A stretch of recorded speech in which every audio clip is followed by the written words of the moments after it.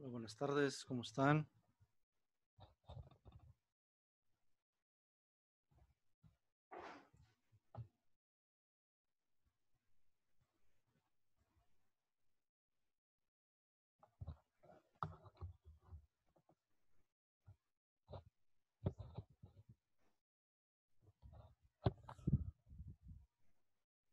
Bueno, esta es nuestra segunda sesión de clases, la penúltima, por cierto.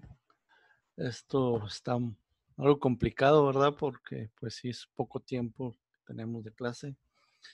Este, sus demás compañeros que han platicado entre ustedes, este, ¿por qué tan poquitos en, en el grupo? ¿Por qué tan poquitos se conectan a Zoom? Este, ¿Cuál es el detalle?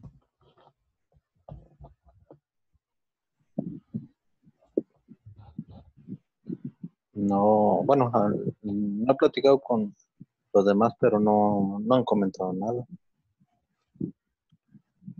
Pues de hecho en el, en el Classroom nada más hay cinco personas, no sé cuántos formarían el grupo completo, ¿verdad? Porque ahí en el, en el WhatsApp sí hay bastantes. Entonces, no sé los demás este, realmente si no están de acuerdo o, no van a llevar la clase o cuál, cuál, es el problema, ¿verdad? Eh, el detalle en sí. Entonces, este, igual, pues las personas que han cumplido con la tarea son dos o tres máximo de los cinco. Entonces, así como que, pues, no sé, cuál es el, el detalle o si no están de acuerdo en la forma o quieren que lo hagamos de otra manera o no sé, o sea, aquí el detalle es que se pueda hacer las cosas y puedan sacar adelante la materia y, y este y pues continuar, ¿verdad? con sus con sus estudios en forma normal. Desafortunadamente, pues las cosas se están complicando en cuestión de, de la pandemia y este y pues vamos a tener que continuar así algún tiempo más. No sé si ya para finales de agosto este, estemos ya en forma presencial nuevamente o, o esto vaya a continuar. No, no se sabe aún. ¿verdad? Entonces sí es importante que, pues ahora sí, tratemos de sacar adelante su, su estudio, ¿verdad? O sea, que, que estén, este, pues, aprovechando el, el, tiempo. De, clases y puedan este, continuar ¿verdad? con, con su proyecto de, del estudio de esta carrera. ¿no? Este, por ahí se acaba de conectar Iván. Este, anótate en el chat, por favor, Iván. Este, Ahorita eh, la clase es la de geología de yacimientos. ¿En qué nos quedamos la vez pasada?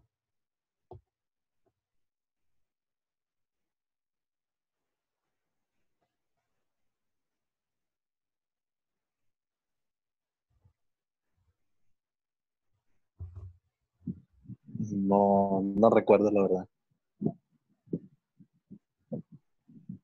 Bueno. Les voy a compartir por ahí una, una presentación que tengo yo. Bueno, no sé si ese es el detalle, que no me acuerdo si esa fue la que les compartí o les compartí otra.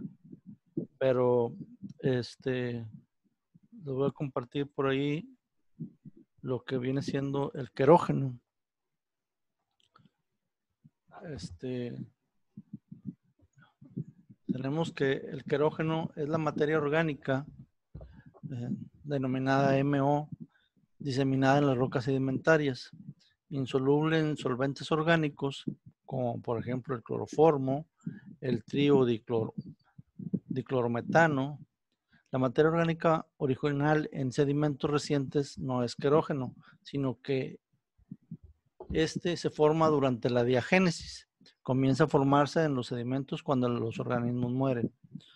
Está constituido de moléculas complejas formadas aleatoriamente por la recombinación de las moléculas biogénicas. Cada molécula de querógeno es única, químicamente distinta.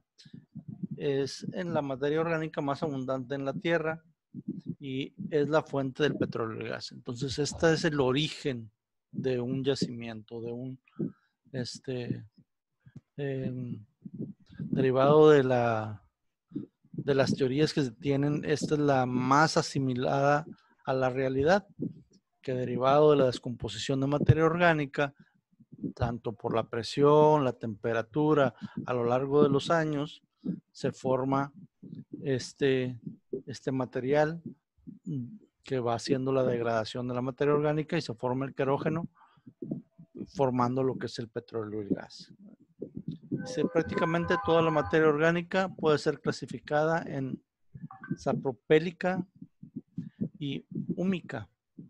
El término sapropélico se refiere al producto obtenido de la descomposición y polimerización de la materia algácea y herbácea, principalmente depositada en condiciones acuáticas con bajo contenido de oxígeno atmosférico. La materia orgánica sapropélica genera principalmente aceite y tiene una relación HC, hidrógeno-carbono, de 1.3 a 1.7. La palabra húmico se aplica al producto obtenido de la descomposición de plantas terrestres superiores depositadas en medios terrígenos con abundante oxígeno atmosférico. Los querógenos húmicos producen principalmente gas y tienen una relación de hidrógeno-carbono alrededor de 0.9. Esta materia orgánica está constituida por lignita. Entonces, aquí nos habla de dos formaciones distintas. Una, que se hace en los mantos acuíferos y otra que se hace en plataformas terrestres. Entonces, esta materia Eh, la clasifican en dos partes, ¿verdad?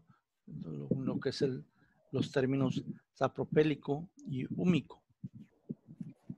Y nos habla de plantas, por lo regular, toda la materia de, derivada de las plantas que contienen mucho o poco oxígeno, dependiendo de la situación, ¿verdad?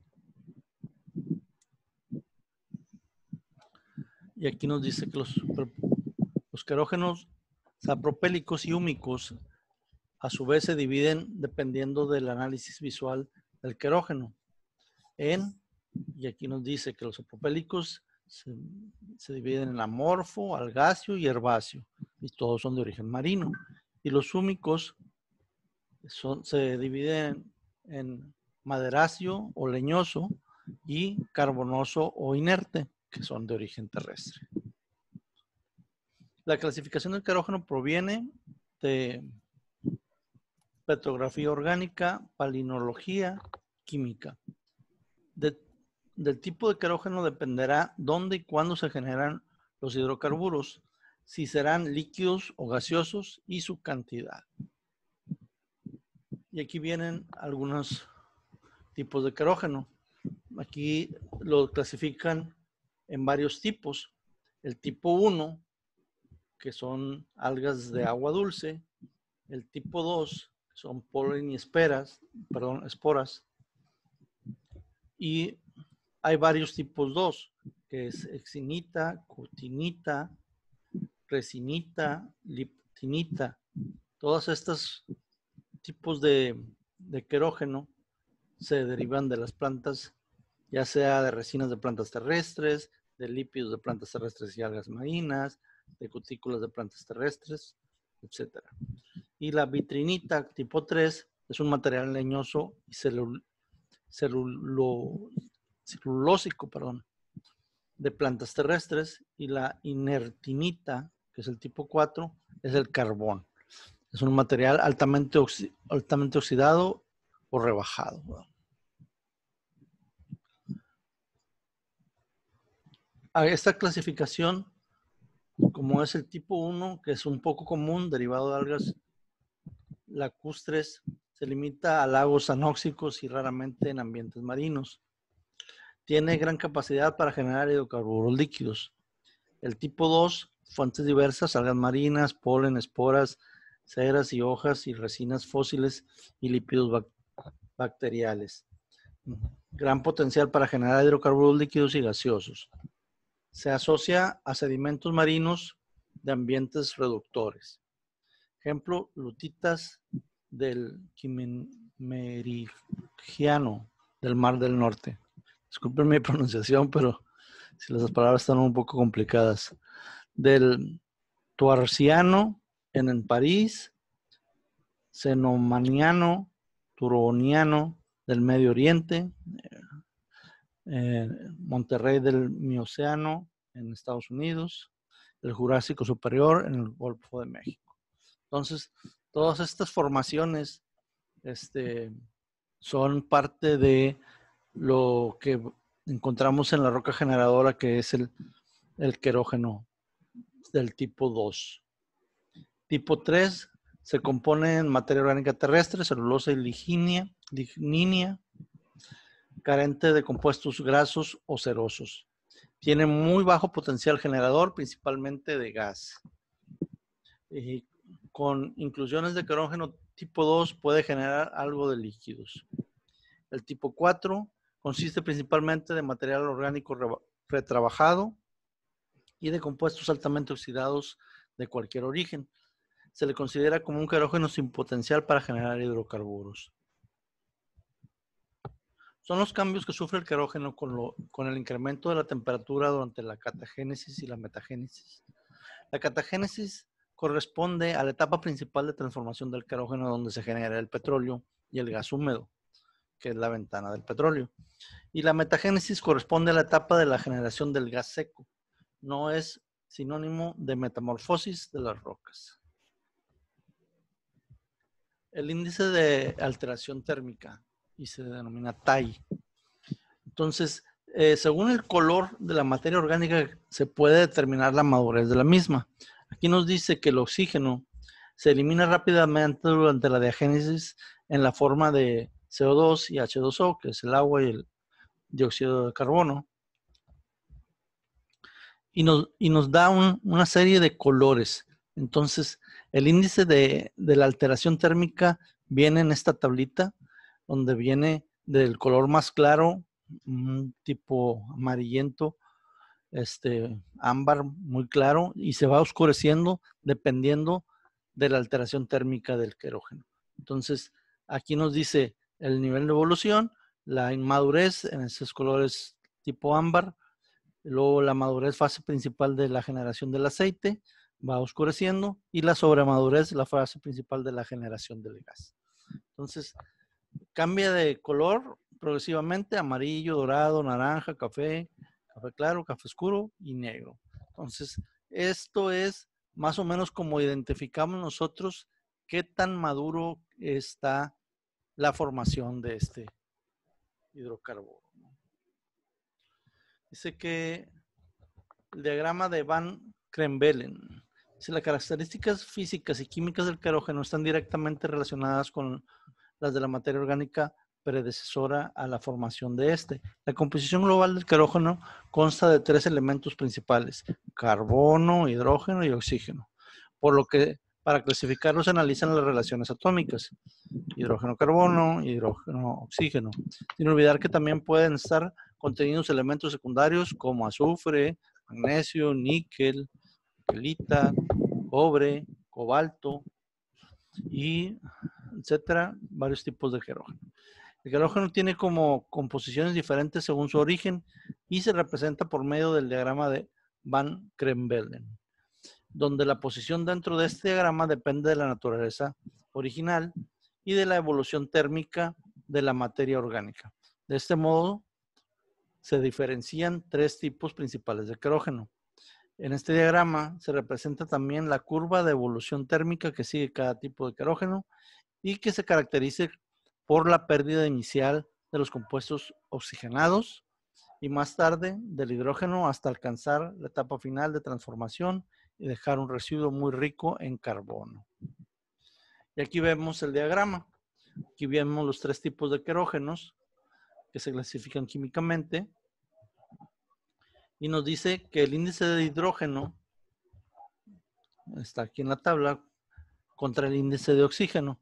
Entonces, dependiendo cómo es este índice, es como se clasifica como tipo 1, 2, 3 y 4.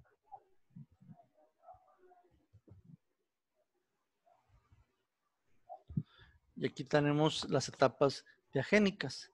Entonces, aquí es donde vamos a ver qué tan seco, húmedo o ya está en la parte líquida del petróleo, ¿verdad?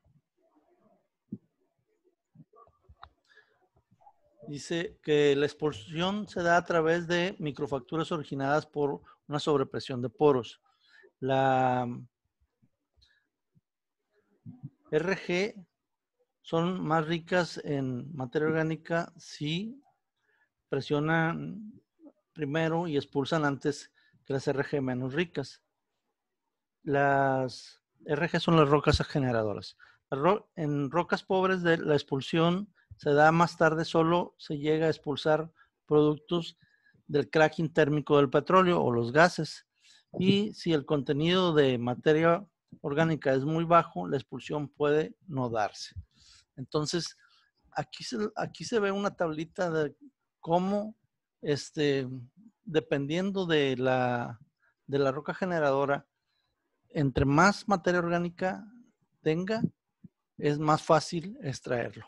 ¿Sí? Entonces, mm, aquí viene en inglés, muy rica, eh, moderadamente rica, menos rica y casi sin, sin riqueza. ¿no? Eh, la composición química del querógeno va a depender de la materia orgánica original y de sus cambios durante la diagénesis. Durante la catagénesis se produce querógeno residual cada vez más aromático y más pobre en, en hidrógeno. Al mismo tiempo, se producen moléculas pequeñas, bitúmenes, precursoras del petróleo y gas. La composición química del querógeno define el tiempo de generación de los hidrocarburos y el tipo de producto a obtener. Los querógenos ricos en, lípidos son propensos a generar, perdón, a generar hidrocarburos líquidos, mientras que los que son pobres en lípidos generan principalmente gas. El querógeno resinítico genera aceite o condensados antes que, que los otros querógenos. Los querógenos ricos en azufre producen aceites pesados, azufrosos, en condiciones de madurez incipiente. La plataforma generadora que generan los hidrocarburos temprano también son capaces de expulsarlos antes, ricas en resinas y azufre. Las rocas generadoras que generan pocos hidrocarburos pueden no ser capaces de expulsarnos sino hasta que han sido craqueados a gas. Aquí vemos algunas imágenes de las rocas donde están este, la formación de cómo se encuentra la materia orgánica. Aquí dice que la materia orgánica está en una forma laminada, lagunar. En la otra imagen es la materia orgánica en agregados y una difusión, perdón, distribución difusa de la materia orgánica. Entonces, las acciones delgadas de roca generadoras ricas en materia orgánica traslucen, ¿verdad? Se pueden transmitir la luz. Materia orgánica morfa y aquí se refleja la luz este, en la lignina. Agregados minerales, se ven algunos puntos, las algas fluorescentes, algáceo, que es el material que puede ser positivamente relacionado con algas químicamente consistente de moléculas de bajo peso, peso molecular, con menos anillos condensados y más cadenas parafínicas largas con anillos de naftenos.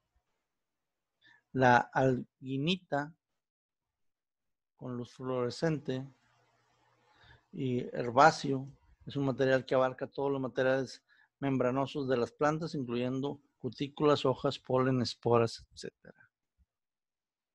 Querógeno de luz transmitida, querógeno de luz fluorescente. Entonces, eh, los maderáceos, que está formado por los detritos más lignificados de los remanentes de la estructura de las plantas, ramas y tallos. Químicamente consiste de moléculas de alto peso molecular que contienen anillos aromáticos condensados. Los carbonáceos, esta es una relación a la apariencia negra que presentan las partículas lo constituyen, pueden prevenir de cualquier tipo de querógeno retrabajado o sobremaduro. Potencial generador. Aquí nos habla de la pirólisis. Este método tiene la finalidad de caracterizar el potencial generador de la materia orgánica asociada a las rocas sedimentarias predecesoras a la generación de hidrocarburos.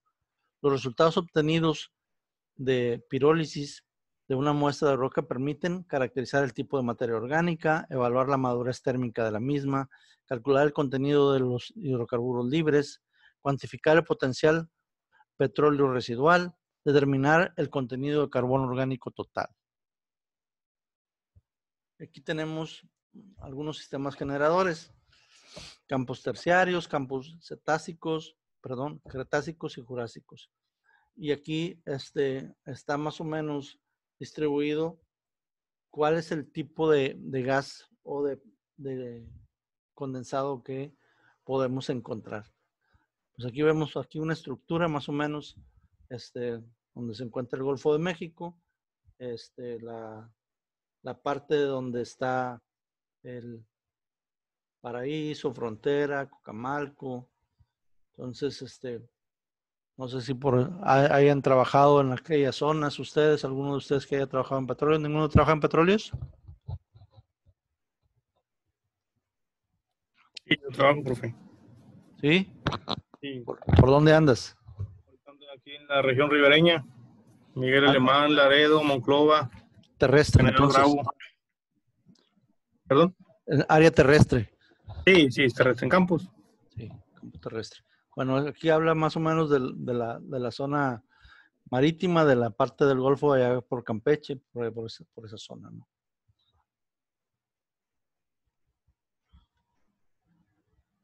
Ok. Pues esa era, la, presentación que les quería compartir por ahí, la parte de, de los querógenos. Este, pues geología de yacimientos está bastante amplia la materia. Ustedes pueden ver la, el, programa está bastante extenso. Eh, podríamos pasarnos horas y horas hablando de, geología de yacimientos. Eh, definitivamente no tenemos el tiempo suficiente como para, para poder este, extendernos en la materia.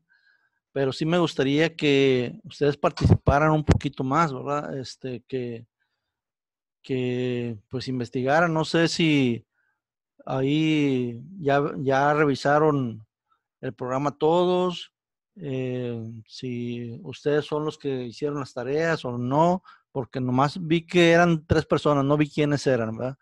Las que, las que hicieron las tareas.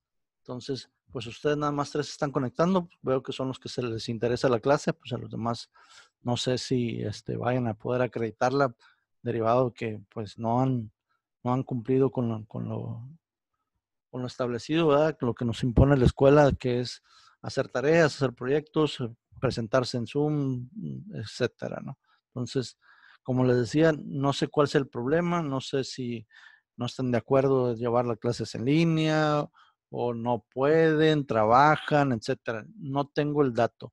Este, eh, es la primera vez que les doy clases a ustedes así es que pues los conozco muy poco. Eh, pero pues, eh, ¿qué les puedo decir? Eh, yo trabajé mucho tiempo en, petróleos, pero como outsourcing, este, nunca, nunca obtuve mi ficha ni, fui contratado directo. Estuve en, el área de ingeniería, en el área de, topografía ahí en, en, en, lo que es Reynosa. Y y pues aprendes mucho, aprendes muchísimo a, pesar de que, de que estás en una sola, en una sola área, eh, aprendes de muchas cosas. Eh, yo era supervisor de proyectos, o sea, me dedicaba mucho a, lo que es la supervisión de proyectos topográficos y lo que viene siendo la, la infraestructura petrolera. Eh, estuvimos por ahí mucho, mucho rato, más de 18 años trabajando ahí, pero pues, pues ahora sí que se vino abajo la industria, se tuvieron que despedir a todos los outsourcing y se, pues ahora sí que se está batallando para volverla a levantar. Pero eh, aparentemente viene buena época, en años venideros, donde se va a reactivar la industria petrolera, derivado de pues, las otras industrias generadoras, sobre todo de electricidad, este, por políticas, este, ahora sí que del gobierno federal van a la baja y la industria petrolera va a la alta. Esperemos que se componga esto, que se vuelva a reactivar, porque pues eso sí es un motor bastante grande de, de la economía en el país, ¿verdad?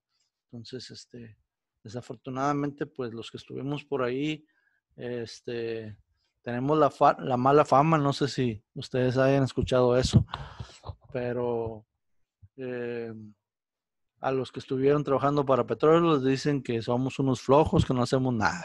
Y pues eso no es cierto, ¿verdad?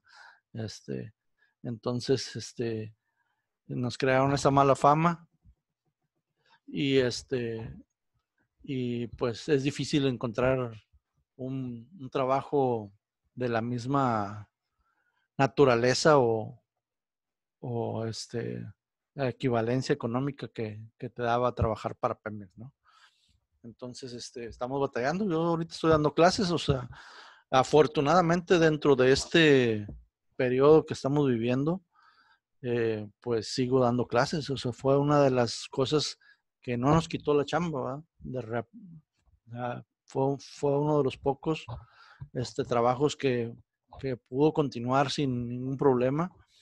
Este, pero sí se vio disminuida, no sé si en sus áreas de trabajo también, que hubo despidos, hubo pues ahora sí que recortes de personal o, o igual recortes de sueldo, sabes que trabaja nomás tres días y te pago el 40% de tu sueldo, etcétera, porque en muchos lugares fue así. Entonces, este, eh, para la siguiente clase, a mí me gustaría, les voy a poner por ahí, investigar este, los otros temas y que cada uno de ustedes investigue un tema para que no se haga tan pesado, porque pues yo sé que es bastante pesado la investigar toda la materia, ¿verdad? Entonces, y aparte que sé que trabajan y todo, entonces me gustaría que si ustedes se pusieran de acuerdo y cada quien agarrara una unidad y la desarrollara, y en una forma muy rápida, muy breve, eh, la explicara con diapositivas para la próxima clase de las unidades que faltan. Entonces, no sé si estén de acuerdo en, este, en esta forma de trabajo. Y ya sobre eso, este, pues, terminando la materia, sobre lo mismo que ustedes este, expusieron, de ahí saco preguntas este, y ponemos el examen este, de, lo, de, de, esa, de esa parte, ¿no? ¿Cómo ven? Sí, está bien. ¿Sería de cuánto tiempo la, investiga la exposición, Pues son cuántas cuántas o, cuántas diapositivas o... Miren, déjenme aquí está el programa.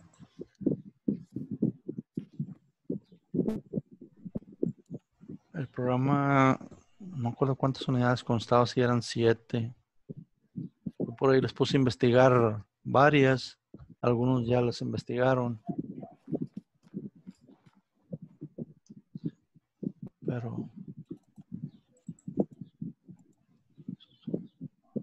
son cinco.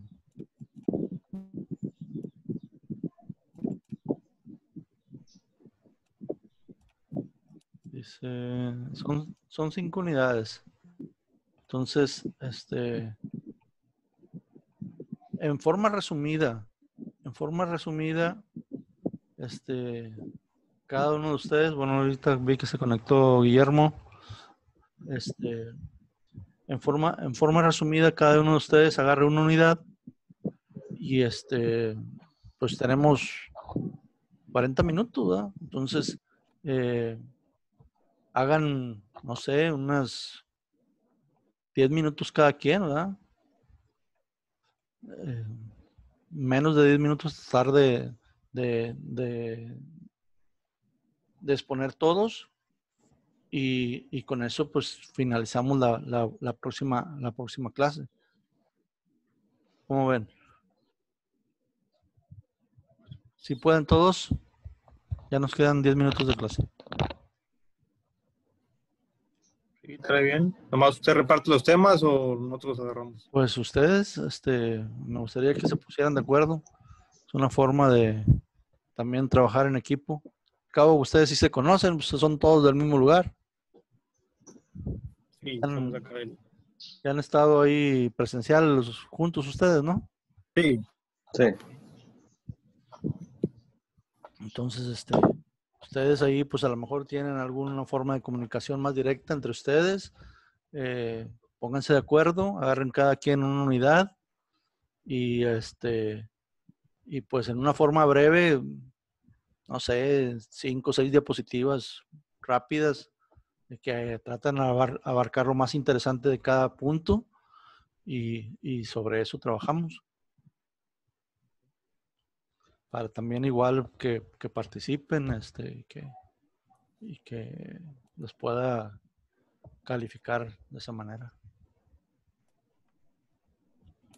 Las diapositivas se las mandaríamos a usted y luego usted las pone en pantalla compartida. Sí, igual este, mm, este, nada más mándelas, pues no las manden el mero día para poder bajar la información y tenerla, este, ya me mandan el orden también para igual también no perder tiempo en ese, en ese, ese- en ese lapso de estar cambiando de uno a otro, quién es, quién va primero y así enseguida.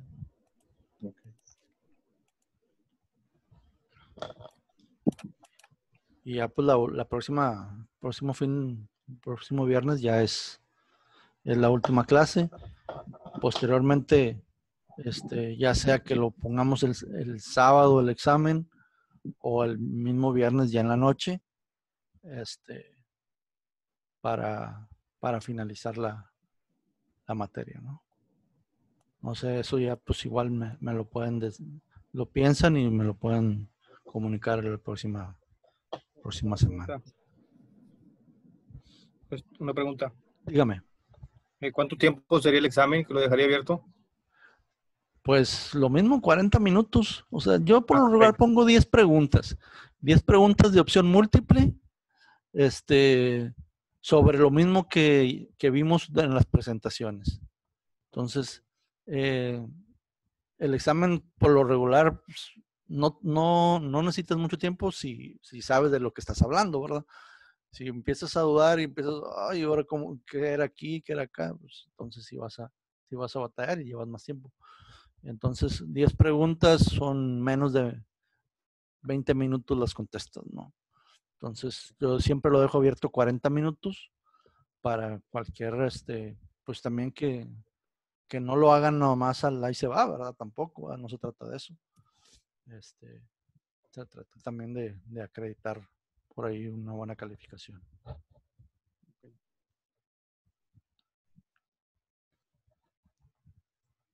¿Alguna duda, alguna pregunta? Los que no han hablado.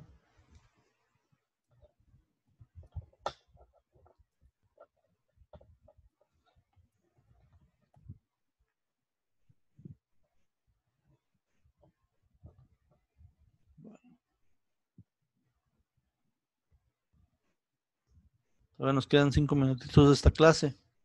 Este, sí, como les digo, es importante eh, tener todo esto en cuenta y, y, pues, pues como les digo, lamentablemente la situación nos ha llevado a, esta forma de trabajo que pues por un lado evitamos el riesgo y por el otro lado este pues tenemos el problema de la conexión, ¿verdad? De repente nos falla por ahí el internet o estamos en un área donde no agarramos buena señal, batallamos con el teléfono para poder estar interactuando, pues, muchas cosas, ¿verdad?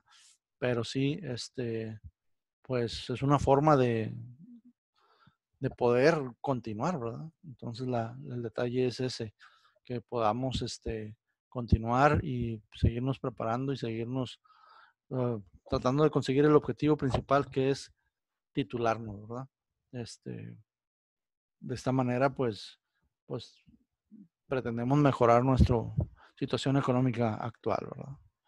Entonces, eh, yo por lograr a mis estudiantes lo trato de alentar, que no abandonen la escuela. Esto es una inversión. Sabemos que a veces sí se nos complica, sí batallamos, a veces hasta dejamos de comer por este, salir adelante, pero pues esto es una inversión que nos va a generar un mejor futuro y pues mejor futuro para nuestras familias.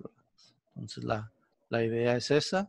Esperamos que esta, esta situación cambie y podamos este, hacerlo en forma presencial nuevamente, que pues tanto, me imagino que tanto para ustedes este, se les acumuló la chamba de la chamba del diaria y la chamba de la escuela y a nosotros también como profesores se nos triplicó el trabajo. Entonces, eh, no es lo mismo es, eh, ir una hora, dos horas a, a, un lugar a dar clases y luego ya te olvidas que estar en línea y, oye, me salió una duda y ahí te hablan por teléfono, te hablan, mandan un mensaje. Oye, pues nosotros estamos también igual para atenderlos. Este, pero sí, este, sí se nos complica de repente, ¿verdad? Que, oye, pues tengo que atender a, los chavos, La, la, raza que, que, está estudiando, porque pues es la forma de trabajo actual, ¿verdad? Preguntas, dudas, nos quedan por ahí tres minutitos de esta clase. En la siguiente clase, pues podemos seguir platicando al respecto. ¿verdad? No, ninguna duda hasta ahorita. No, ninguna duda.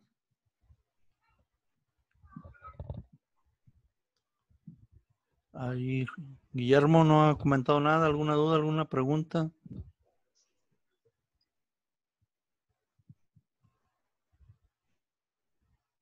¿O no puede hablar? Okay.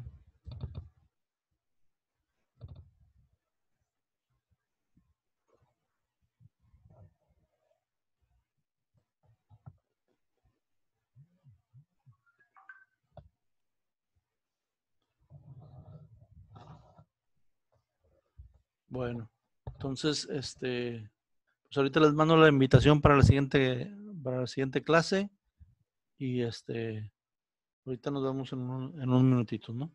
¿Sale? Termino de una vez esta, esta clase.